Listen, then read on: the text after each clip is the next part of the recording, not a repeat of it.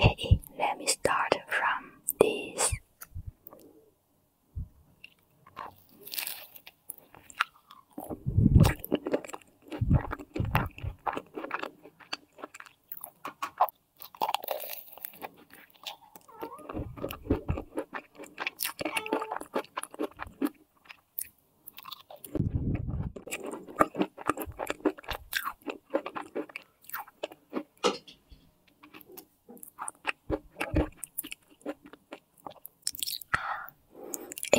fresh. Okay, I will try this. This is glutinous rice balls named tangyuan, a traditional Chinese dessert. We usually eat